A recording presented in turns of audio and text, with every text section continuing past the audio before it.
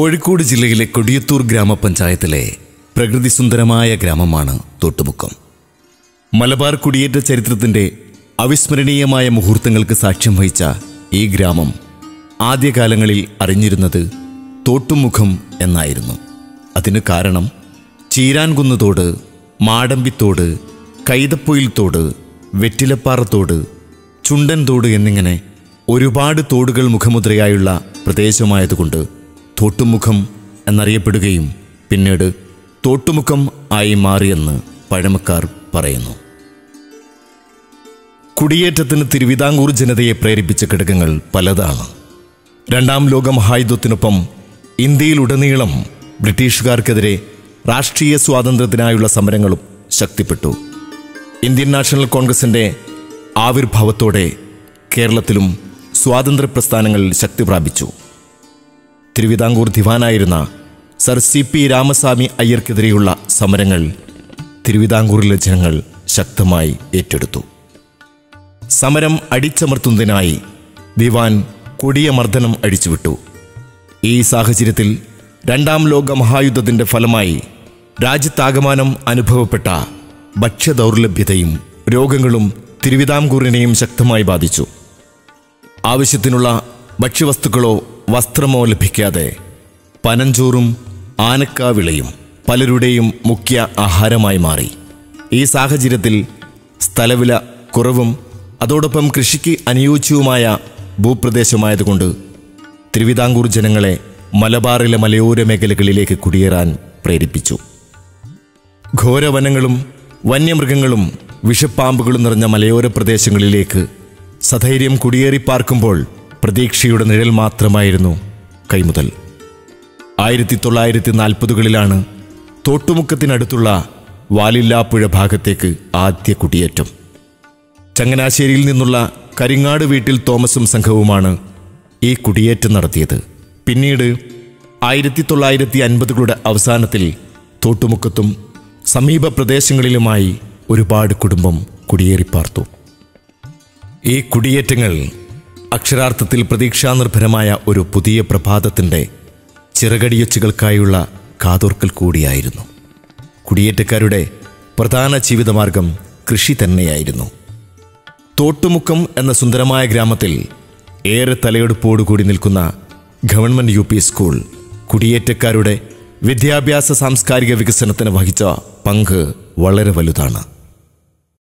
കൊടിയത്തൂർ പഞ്ചായത്തിലെ ഏറ്റവും മലയോര മേഖലയിൽ കിടക്കുന്ന ഈ സ്കൂളിൽ ഈ വർഷം എല്ലാ ക്ലാസ് റൂമുകളും ഹൈടെക് ആക്കി മാറ്റിയിരിക്കുന്നു. അതേപോലെ ലാബുകളൊക്കെ തന്നെ വളരെ സമർത്ഥമായി നമ്മുടെ പഠന കാര്യങ്ങളിൽ വളരെ വിജയകരമായി മുന്നോട്ട് പോകാൻ നമ്മളെ സഹായിക്കുന്നുണ്ട്. എല്ലാ ദിനാചരണങ്ങളും പി ടി എയുടെ സഹായത്തോടുകൂടി പി ടി എയുടെ പങ്കാളിത്തത്തോടുകൂടി വളരെ സജീവമായി നമ്മൾ ആഘോഷിക്കുന്നു. ആഘോഷിക്കുക മാത്രമല്ല അതൊരു മികച്ച പഠനാനുഭവമാക്കി മാറ്റാൻ നമ്മുടെ പി ടി എക്കും അധ്യാപകർക്കും കഴിയുന്നുണ്ട്. ജില്ലയിൽ വിദ്യാഭ്യാസ നിലവാരത്തിലും ഭൗതിക സാഹചര്യത്തിലും ഏറെ മുൻപന്തിയിൽ നിൽക്കുന്ന സ്കൂളാണ് G U P S Thottumukkam.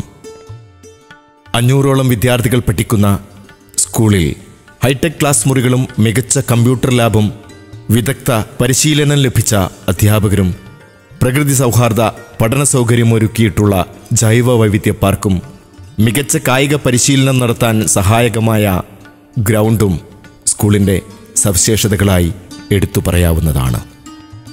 ഇന്നു കാണുന്ന സ്കൂളിന്റെ സമഗ്ര വികസനത്തിന് ഇന്നലകളിൽ ഒരുപാട് പേരുടെ സ്വപ്നവും ത്യാഗവും പ്രവർത്തനങ്ങളും നിറഞ്ഞ ചരിത്രം പറയാനുണ്ട് തോട്ടുമുക്കം നിവാസികൾക്ക്. തോട്ടുമുക്കത്തുകാർക്ക് വിദ്യാഭ്യാസം ലഭിക്കാതിരുന്ന കാലഘട്ടത്തിൽ പള്ളിയോട് ചേർന്ന് മാതിരംപള്ളി ചാക്കോ പടന്നമാക്കൽ ഡൊമിനിക് എന്നിവരുടെ കീഴിൽ ഒരു ആശാൻ കളരി ആരംഭിച്ചു. ഒരുപാട് പരിമിതികൾ ഉണ്ടായിരുന്ന ഈ വിദ്യാഭ്യാസ സമ്പ്രദായത്തിൽ കുട്ടികൾക്ക് അക്ഷര വിദ്യാഭ്യാസം നൽകുകയും പിന്നീട് കുട്ടികളെ ദൂരെയുള്ള സ്കൂളിൽ മൂന്നാം ക്ലാസ്സിൽ ചേർത്ത് പരീക്ഷ എഴുതിച്ചുകൊണ്ട് തുടർ വിദ്യാഭ്യാസം നടത്തി വന്നു.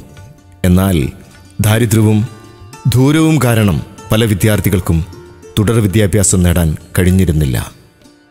ഇങ്ങനെയൊക്കെയുള്ള സാഹചര്യത്തിൽ തോട്ടുമുക്കം ജനതയ്ക്ക് വലിയൊരു ആശ്വാസമായിരുന്നു ആയിരത്തി തൊള്ളായിരത്തി എഴുപത്തി മൂന്ന് ഒക്ടോബർ എട്ടാം തീയതി Thottumukkam government L P school നിലവിൽ വന്നത്. സ്ഥല സൗകര്യമോ മറ്റ് സംവിധാനങ്ങളോ ഇല്ലാതിരുന്ന ആദ്യകാലത്ത് സെന്റ് തോമസ് പള്ളിവക വായനശാല കെട്ടിടത്തിലാണ് സ്കൂൾ പ്രവർത്തനം ആരംഭിച്ചത്. ഇന്ന് പോസ്റ്റ് ഓഫീസായി പ്രവർത്തിക്കുകയാണ് ആ കെട്ടിടം. കുന്നമംഗലം നിയോജക മണ്ഡലം എം എൽ എ ആയിരുന്ന ശ്രീ മുസ്തഫ പൂക്കോയ തങ്ങളാണ് സ്കൂളിന്റെ ഔപചാരിക ഉദ്ഘാടനം നിർവഹിച്ചത്. സ്കൂളിന്റെ പ്രാരംഭ പ്രവർത്തനം മുതൽ നാട്ടുകാരുടെ പങ്കാളിത്തം വിലമതിക്കാൻ കഴിയാത്തതായിരുന്നു. പള്ളിയിലെ ഫാദർ ജോർജ് തെക്കഞ്ചേരിയുടെ രക്ഷാധികാരത്തിൽ ഒരു ജനകീയ കമ്മിറ്റി രൂപീകരിക്കുകയും അശ്രാന്ത പരിശ്രമം കൊണ്ട് രാപ്പകൽ കഷ്ടപ്പെട്ട് പണം സ്വരൂപിക്കാനുള്ള ശ്രമങ്ങൾ ആരംഭിക്കുകയും ചെയ്തു. അന്നുള്ള ആഹാരത്തിന്റെ ഒരു വക മാറ്റിവെച്ചിട്ടായിരുന്നു കുടിയേറ്റക്കാർ സ്കൂൾ തുടങ്ങുവാനുള്ള സ്ഥലത്തിനായുള്ള പിരിവിലേക്ക് പണം കണ്ടെത്തിയിരുന്നത്. ഈ ജനകീയ കമ്മിറ്റിയുടെ president Joseph ചുണ്ടശ്ശേരിയും secretary Shri P G Joseph മാസ്റ്ററുമായിരുന്നു. ഈ കമ്മിറ്റിയുടെ ശ്രമഫലമായി ചമ്പോട്ടിൽ വർക്കിയിൽ നിന്ന് രണ്ട് ഏക്കർ സ്ഥലം നാലായിരം രൂപയ്ക്ക് വാങ്ങാൻ സാധിച്ചു. അന്നത്തെ കമ്മിറ്റി വളരെ കഷ്ടപ്പെട്ടാണ് ഈ നാലായിരം രൂപ സ്വരൂപിച്ചത്. അക്കാലത്ത് ഒരു ദിവസത്തെ പണിക്കൂലി എന്നത് ഒരു രൂപയുടെ അടുത്തായിരുന്നു എന്ന് മനസ്സിലാക്കുമ്പോൾ നാലായിരം രൂപ എത്ര വലിയ തുകയാണ് എന്ന് നമുക്ക് ഊഹിക്കാൻ കഴിയുന്നതേയുള്ളൂ. പി യു ജോസഫ് എന്ന് പറയുന്ന പാലക്കുടിയിലെ മാഷായിരുന്നു പുള്ളിയായിരുന്നു ഞങ്ങളുടെ കമ്മിറ്റിയുടെ സെക്രട്ടറി. പുള്ളിയും ഞാനും കൂടെ കൂടിയാണ് ഈ സ്ഥലത്തിന്റെ ഉടമസ്ഥനായ തേക്കുംകുറ്റി ഉണ്ടായിരുന്ന ചെമ്പോട്ടിക്കൽ വർക്കി എന്ന് പറയുന്ന വീട്ടിൽ പോയി അവിടുന്ന് പുള്ളിയോട് ഈ സ്ഥലം രണ്ടേക്കർ ഞങ്ങൾ വാങ്ങുന്നത്. ആ അവിടുന്നാണ് ഇതിന്റെ ആരംഭം.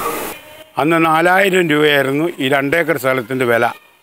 അത് പുല്ല് പിടിച്ച് മേ ഇങ്ങനെ കന്നുകാലികളും കയറി ചമ്മഞ്ഞിങ്ങനെ ഇങ്ങനെ ഇവിടം മുതൽ പോയി അവിടം വരെ ഒന്നായിട്ട് കുന്നായിട്ട് കിടന്ന് ഒരു സ്ഥലമാണ്.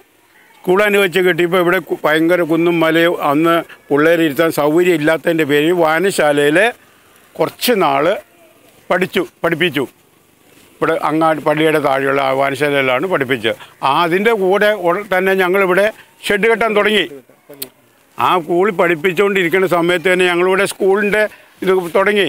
അവിടെ ഇവിടുന്ന് എല്ലാവരുടെയും വീട്ടിൽ നിന്ന് മരങ്ങളൊക്കെ കൊണ്ടുവന്ന് തൂണ്ട് മരം കൊണ്ട് ഉണ്ടാക്കി മുകളിൽ കമു വെച്ചിട്ട് മുകളിൽ പുല്ല് മേഞ്ഞ അമ്പതടി നീളത്തിൽ കെട്ടിടം മൂന്ന് ക്ലാസ് റൂം ഉണ്ടാക്കിയെന്ന്.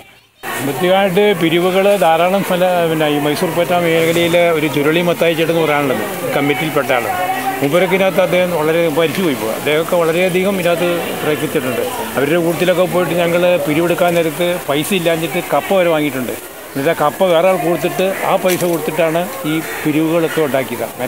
ഈ കമ്മിറ്റിയിലെ മെമ്പർമാർ ജോസഫ് പൊട്ടമ്പുഴ പൈമ്പിള്ളി തോമസ് നെടുങ്ങാട് വർക്കി തെക്കേൽ ഐപ്പച്ചൻ ചിറയിൽ കുഞ്ഞേപ്പ് ഇബ്രാഹിം കുന്നേൽ ചുരുളിയിൽ മത്തായി നരിക്കുഴി ദേവസ്യ പാലക്കൽ ജോസ് എബ്രിയിൽ പാപ്പച്ചൻ ഈ പേരുകൾക്ക് പുറമെ ഇതിൽ പറയാത്ത എല്ലാവരോടും തോട്ടുമുക്കം എന്ന ഗ്രാമഭൂമിക കടപ്പെട്ടിരിക്കുന്നു. സ്കൂളിന് വേണ്ടി വാങ്ങിയ രണ്ടേക്കർ സ്ഥലത്തു നിന്ന് health sub centre Krishibhavan bus waiting shed മൃഗാശുപത്രി എന്നീ പൊതു ആവശ്യങ്ങൾക്ക് സ്ഥലം സ്കൂൾ സൗജന്യമായി നൽകിയിരുന്നു. ആയിരത്തി തൊള്ളായിരത്തി എഴുപത്തി മൂന്നിൽ തുടങ്ങിയ സ്കൂളിന്റെ പ്രധാന അധ്യാപക ചുമതല നിർവഹിച്ചിരുന്നത് സി കെ വിജയൻ മാഷായിരുന്നു. ഏക അധ്യാപക പഠനമായിരുന്നു തുടക്കത്തിൽ നടത്തിയിരുന്നത്. യാത്രാ സൗകര്യം ഒന്നുമില്ലാതിരുന്ന ഈ കാലഘട്ടത്തിൽ പന്നിക്കോടുള്ള വിജയൻ മാഷ് ദിവസവും എട്ടോളം കിലോമീറ്റർ നടന്നായിരുന്നു വിദ്യാലയത്തിൽ എത്തിയിരുന്നത്. ഡെപ്യൂട്ടേഷൻ ചാർജായി ജോലി ചെയ്തിരുന്ന വിജയമാഷോടൊപ്പം തന്നെ ഡെപ്യൂട്ടേഷൻ ചാർജായി രണ്ടാമത് വന്ന അധ്യാപകനായിരുന്നു കെ സി അബ്ദുമാഷ് കക്കാൻ സ്കൂൾ ജോലി ചെയ്യുമ്പോൾ എന്റെ അടുത്തൊരു സുഹൃത്ത് ഇവിടുത്തെ എന്റെ പ്രിയപ്പെട്ട നേതാവായിരുന്ന എംബ്രയിൽ പാപ്പച്ചൻ എന്റെ നാട്ടിൽ കീഴുപറമ്പ് കീഴുപറമ്പാണ് എന്റെ നാട്. അവിടെ വന്നിട്ട് അവിടെ സ്കൂൾ സ്കൂൾ നടത്താൻ ആരംഭിക്കാൻ വേണ്ടി അധ്യാപകരെ കിട്ടുന്നില്ല. അതുകൊണ്ട് നിങ്ങൾ വന്നിട്ട് ഡെപ്യൂട്ടേഷനിൽ വന്നിട്ട് ഞങ്ങൾ സ്കൂളിൽ വരണം ഞങ്ങളെ സഹായിക്കണം എന്ന് പറഞ്ഞപ്പോൾ ഞാൻ സമ്മതപത്രം കൊടുക്കുകയും അങ്ങനെ ഡെപ്യൂട്ടേഷനിൽ കക്കാട് കാരശ്ശേരിയിൽ നിന്ന് ഡെപ്യൂട്ടേഷനിലാണ് ഞാൻ ഇവിടെ ആദ്യമായിട്ട് അധ്യാപകനായിട്ട് വരുന്നത്.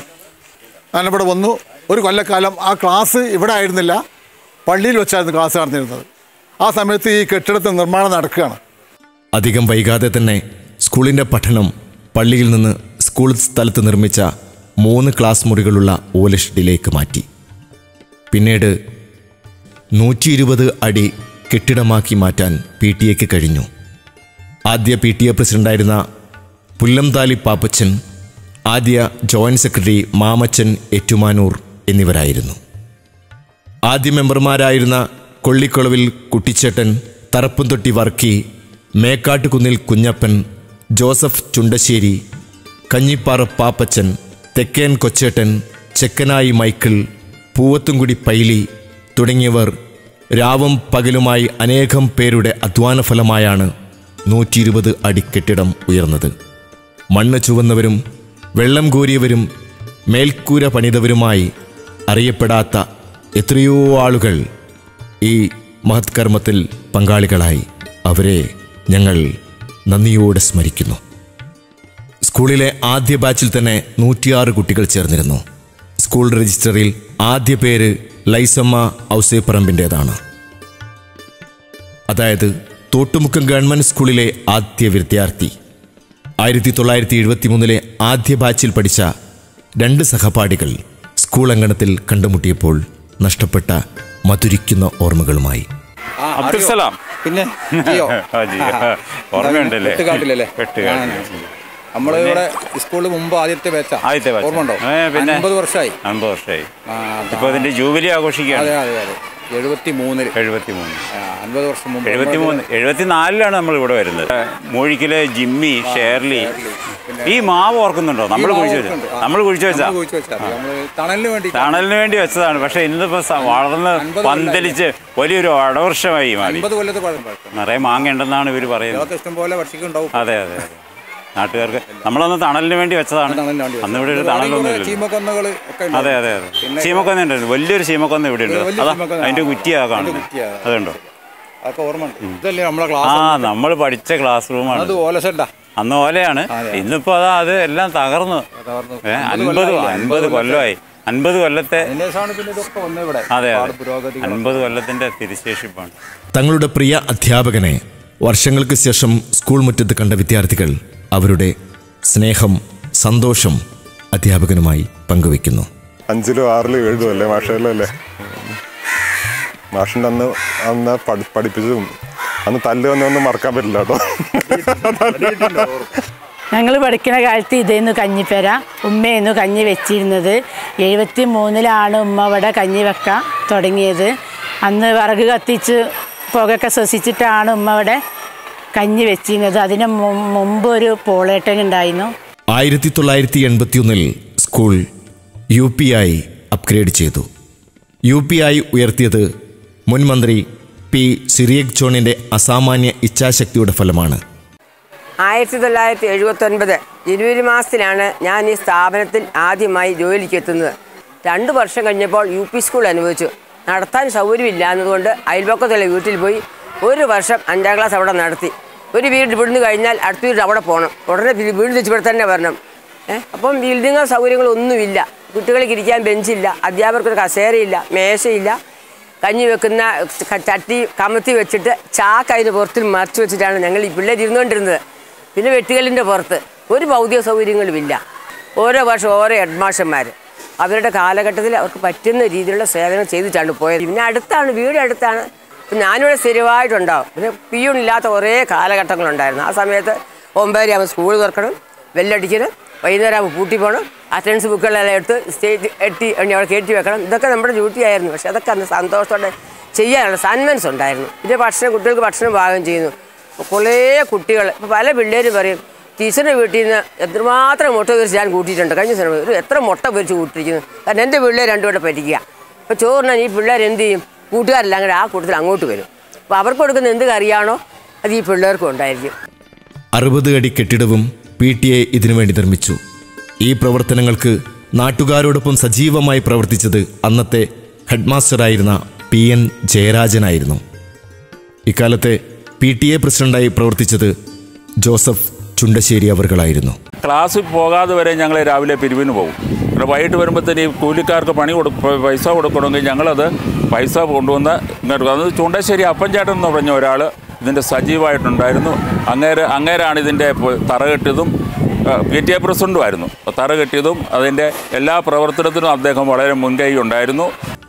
ഈ കാലഘട്ടത്തിൽ തദ്ദേശീയരായ മുൻ അധ്യാപകർ Alexander Thomas Christina teacher V K Raghavan Leelama teacher O S Mary എന്നിവരുടെ നിതാന്തമായ ഇടപെടലും സഹനവും പരിശ്രമവും സ്കൂളിന്റെ പുരോഗതിയെ ഏറെ സഹായിച്ചിട്ടുണ്ട്. വർഷങ്ങൾ കൂടുന്നതിനനുസരിച്ച് സ്കൂളിന്റെ ഭൗതിക വിദ്യാഭ്യാസ സാഹചര്യങ്ങളിലും മാറ്റങ്ങൾ വന്നു തുടങ്ങി. ആയിരത്തി തൊള്ളായിരത്തി എഴുപത്തിയഞ്ചിൽ സ്കൂൾ കോമ്പൗണ്ടിൽ അൻപത് അടി താഴ്ചയിൽ കിണർ നിർമ്മിക്കാൻ കഴിഞ്ഞു. ആയിരത്തി തൊള്ളായിരത്തി എൺപത്തിയേഴ് മുതൽ ആയിരത്തി തൊള്ളായിരത്തി തൊണ്ണൂറ്റിനാല് വരെ പി ടി എ പ്രസിഡന്റായിരുന്ന സി പി സോമശേഖരന്റെ നേതൃത്വത്തിലാണ് അഞ്ച് ക്ലാസ് മുറികൾ നടത്താനുള്ള ഓലഷെഡ് നിർമ്മിച്ചത്. രാപ്പകലന്യെ കഷ്ടപ്പെട്ടാണ് നാട്ടുകാർ ഈ ഷെഡ് നിർമ്മാണം പൂർത്തീകരിച്ചത്. ആദ്യകാലങ്ങളിൽ സ്കൂളിൽ സ്ഥിരമായ പ്രധാന അധ്യാപകൻ ഇല്ലായിരുന്നു എന്നത് വലിയ പ്രതിസന്ധിയായിരുന്നു. തോട്ടുമുഖത്ത് ഒരു രജനി എന്ന് പറഞ്ഞ ഒരു ആർട്സ് ക്ലബ്ബ് ഉണ്ടായിരുന്നു അതിന്റെ നേതൃത്വത്തിൽ ഒരു നോട്ടീസ് അടിച്ച് ഇവിടെ പൊതുയോഗം വിളിക്കുന്നു. രണ്ടായിരത്തി മൂന്നിൽ നൂറ്റി ചില്ലാൻ ആൾക്കാർ പൊതുയോഗത്തിൽ പങ്കെടുത്തു. പി ടി എ കമ്മിറ്റിയിലേക്ക് ഞാൻ അപ്പച്ചൻ ബഷീർ ആരൊക്കെയാണെന്ന് കൃത്യമായിട്ട് എനിക്ക് ഓർമ്മയില്ല. ഞങ്ങൾ മൂന്ന് പേര് സജീവമായിട്ടുണ്ടായിരുന്നു. ഞങ്ങൾ പി ടി എ കമ്മിറ്റി വന്നു. ഫസ്റ്റ് മീറ്റിംഗിൽ തന്നെ ഞങ്ങളെടുത്ത തീരുമാനം ഇവിടെ ഒരു എച്ചമിനെ കൊണ്ടുവരിക എന്നുള്ളതായിരുന്നു. ഈ സമയത്തെ P T A member William പൗലൂസിന്റെ ഇടപെടലിലൂടെ ഹൈസ്കൂൾ അധ്യാപകനായിരുന്ന എൻ സി ചാക്കോമാഷിനെ സ്പെഷ്യൽ ഓർഡർ പ്രകാരം കൊണ്ടുവരികയായിരുന്നു. ചാക്കോമാഷിന്റെ വരവ് സ്കൂളിന് തികച്ചും പുത്തൻ ഉണർവായിരുന്നു. സ്കൂളിന്റെ ഭൗതിക സാഹചര്യത്തിലും വിദ്യാഭ്യാസ പുരോഗതിക്കും ചാക്കോമാഷിന്റെ പങ്ക് മഹത്തരമാണ്. ഒരു വാഹനം പോലും കയറാതെ കാടുപിടിച്ചിരുന്ന കുന്ന് രാത്രിയും പകലുമായി പണിയെടുത്ത് ഇന്നു കാണുന്ന രൂപത്തിൽ സ്കൂൾ ഗ്രൗണ്ടാക്കിയത് ചാക്കോമാഷും സഹപ്രവർത്തകരും നാട്ടുകാരുടെയും അക്ഷീണ പ്രയത്നം തന്നെയായിരുന്നു. എനിക്ക് തോന്നുന്നത് ആ ബിൽഡിങ് ഒന്ന് റിപ്പയർ ചെയ്ത് അങ്ങോട്ട് ഓഫീസ് വന്നു. ആൽബി ഓഫീസ് ഈ ബിൽഡിങ്ങിലായിരുന്നു അത് അങ്ങോട്ട് വന്നു. ഈ ബിൽഡിങ്ങിന് ജില്ലാ പഞ്ചായത്തിൽ നിന്ന് ഒരു ലക്ഷത്തിന് മുകളിലൊരു ഫണ്ട് കിട്ടി. ഇതിന് അതിനു മുമ്പ് ഇത് ഓലമേഞ്ഞ് കൊടുവള്ളിയിലായിരുന്നു പോയി നമ്മൾ ഓല ബൾക്കായിട്ട് നമുക്ക് കിട്ടുന്നത്. അവിടെ നിന്ന് പോയി ഓല മേഞ്ഞ് പിന്നെ അടുത്തുള്ള വീട്ടുകാരുടെ പറമ്പിൽ നിന്നൊക്കെ പോയി കമുക് വെട്ടിക്കൊണ്ടുവന്ന് കഴുക്കോൽ മാറ്റിയിട്ടു. ഈ ബിൽഡിങ്ങിന് ആദ്യകാലത്ത് ഉണ്ടാക്കിയതിന് പഴയ ആൾക്കാർക്ക് ഒത്തിരി കഷ്ടപ്പാട് വന്നിട്ടുണ്ട്. കോനക്കണ്ടി എന്ന് പറഞ്ഞ്. അതിന്റെ മുകളിൽ ഫോറസ്റ്റിൽ നിന്ന് മുള വെട്ടിയിട്ടാണ് ഈ ബിൽഡിങ്ങിന് വേണ്ടിയിട്ട് തൂണും മുളയും എല്ലാം കൊണ്ടുവന്ന് ആ മലയുടെ മുകളിൽ അവർ പുഴയെ ചാടിച്ച് പുഴയെ കൂടെ വലിച്ചുകൊണ്ട് വന്ന് ഇതിന് തടി കൊണ്ടെന്ന് പറഞ്ഞാൽ തൊടുപുഴ ഏഴല്ലൂർ എന്ന് പറഞ്ഞ ഒരു സ്ഥലത്തു നിന്നാണ് ഒറ്റ മരം അതായത് ഒരു ചോട്ടിൽ നിന്ന് ഒരു മരം ഇങ്ങനെ ഒന്ന് രണ്ടായിട്ട് നിൽക്കുന്നത് ഒരൊറ്റ മരമാണ് ഇതിന്റെ മരം.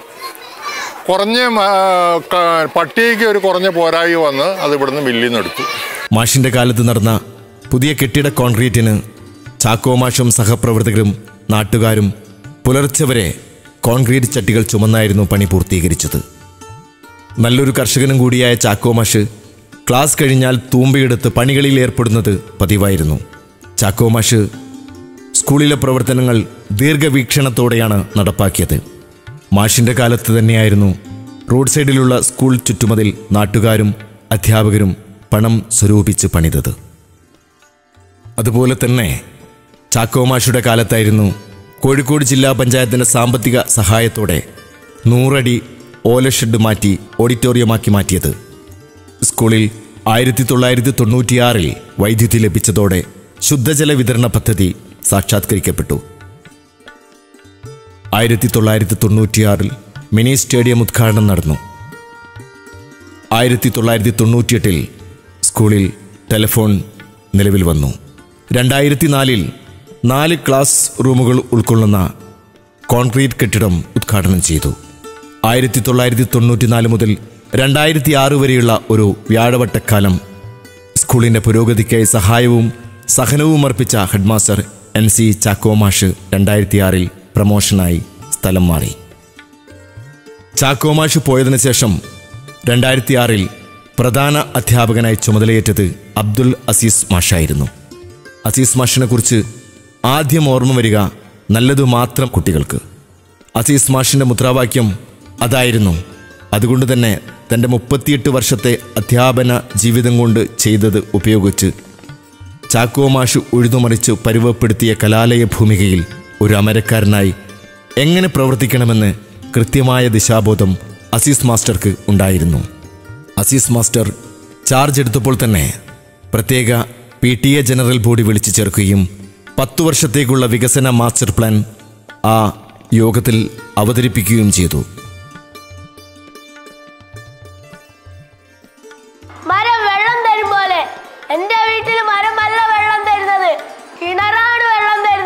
Today, I am going to speak about World Environment Day and the importance that we must give to our environment. two types of organisms unicellular organisms and multicellular organisms. So, can you give the example for unicellular organisms? Very good. Yes, very good. Sit down. Azeez മാഷ് വരുന്ന സന്ദർഭത്തിൽ ഈ സ്കൂളിന്റെ academic നിലവിലുള്ള നിലവാരത്തിൽ വളരെയധികം മാറ്റങ്ങൾ വരികയും അങ്ങനെ ഈ തോട്ടുമുക്കം പ്രദേശത്തിന്റെ ഒരു ജനകീയ വിദ്യാലയമായി ഈ വിദ്യാലയത്തെ മാറ്റുന്നതിൽ അസീസ് മാഷും വളരെയധികം സഹായം ഒരുപാട് നിലവാരം ഉയർത്തുന്നതിനും പശ്ചാത്തല സൗകര്യം വികസിപ്പിക്കുന്നതിനും അങ്ങനെ അങ്ങനെയുള്ള ഒത്തിരി ഒത്തിരി നിർദ്ദേശങ്ങളാണ് മാസ്റ്റർ ആ പൊതുപ്രവർത്തനത്തിന്റെ പ്ലാനിൽ ആസൂത്രണം ചെയ്തിരുന്നത്. മൂന്ന് വിഭവങ്ങൾ അടങ്ങിയ ഉച്ചഭക്ഷണമാണ് നമ്മൾ നൽകുന്നത്. വളരെ വൃത്തിയോടെ നമുക്ക് അത് പാചകം ചെയ്തു തരികയും അതുപോലെ നമുക്ക് നല്ലൊരു അടുക്കളയും നമുക്കുണ്ട്.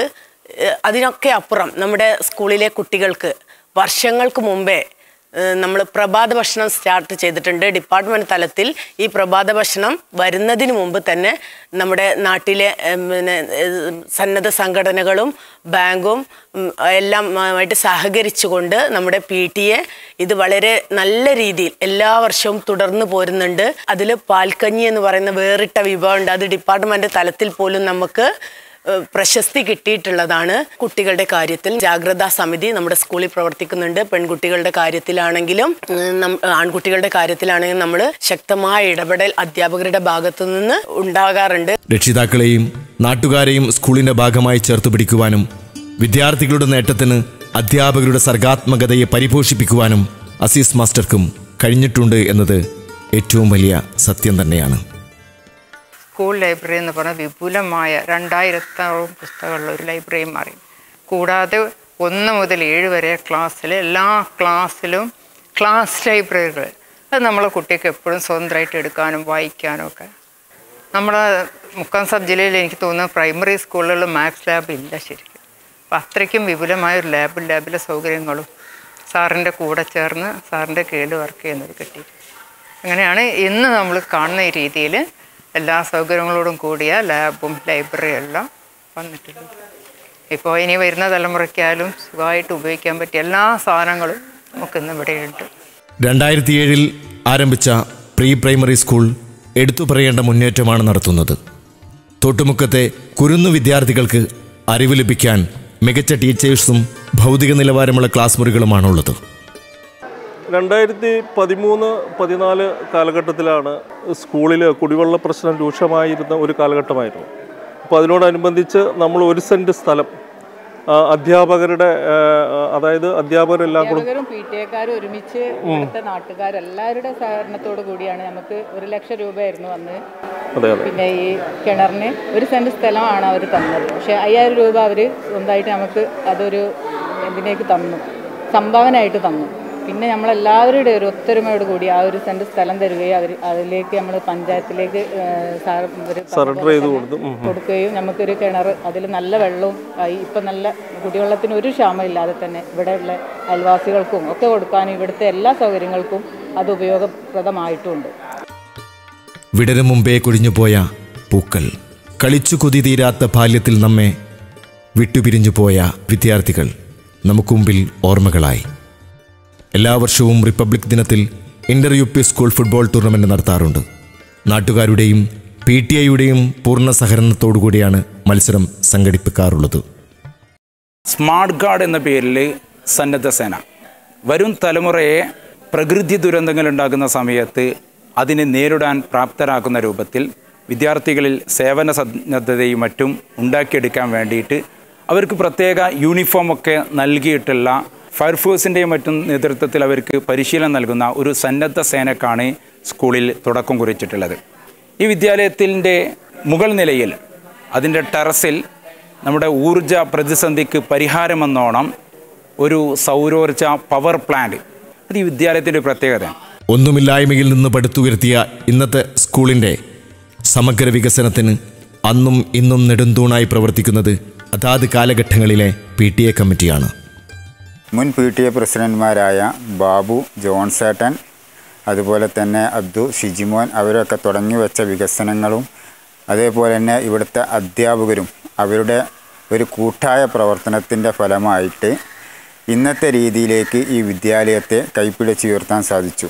രാഹുൽ ഗാന്ധി എം പിയുടെ ഫണ്ടിൽ നിന്നും ആറ് ലക്ഷം രൂപ അനുവദിച്ചു. മോയിൻകുട്ടി എം എൽ എയുടെ വികസനം നാൽപ്പത് ലക്ഷം അതുപോലെ തന്നെ ബഹുമാനപ്പെട്ട എം എൽ എ ജോർജൻ തോമസിന്റെ ഒരു കോടി രൂപ അതുപോലെ തന്നെ മറ്റുള്ള ഫണ്ടുകളൊക്കെ ഈ സ്കൂളിൽ വിനിയോഗിച്ചിട്ടുണ്ട്. ഈ കഴിഞ്ഞ അക്കാദമിക് ഇയറിൽ നടത്തിയ ഓണ സദ്യകളാണ് എല്ലാ നാട്ടുകാരെയും ഇവിടുന്ന് പഠിച്ചുപോയ എല്ലാ പൂർവ വിദ്യാർത്ഥികളും അധ്യാപകരെയും ക്ഷണിച്ചുകൊണ്ടും മെഗാ ഓണ സദ്യയും മെഗാ പൂക്കളവും ഒരുക്കിയിരുന്നു അത് അത് പ്രത്യേകം ജനശ്രദ്ധ ആകർഷിച്ച ഒന്നാണ്. അൻപത് വർഷം തികയുന്ന സ്കൂൾ ഇന്നു കാണുന്ന പ്രൗഢിയോടുകൂടി നിൽക്കുവാൻ ഒരുപാട് പേരുടെ ത്യാഗവും പ്രാർത്ഥനകളുമുണ്ട്. തോട്ടുമുക്കം ഗവൺമെന്റ് യു പി സ്കൂളിൽ പഠിച്ച പല വിദ്യാർത്ഥികളും ഉയർന്ന ജോലികളും ഉന്നത പഠന റാങ്കുകളും സാമൂഹിക രാഷ്ട്രീയ സാംസ്കാരിക കലാരംഗങ്ങളിൽ ഏർപ്പെടുവാനും കഴിഞ്ഞിട്ടുള്ളത് ഈ സ്കൂളിനെ സംബന്ധിച്ചോളം ഏറ്റവും മികച്ച കാര്യം തന്നെയാണ്.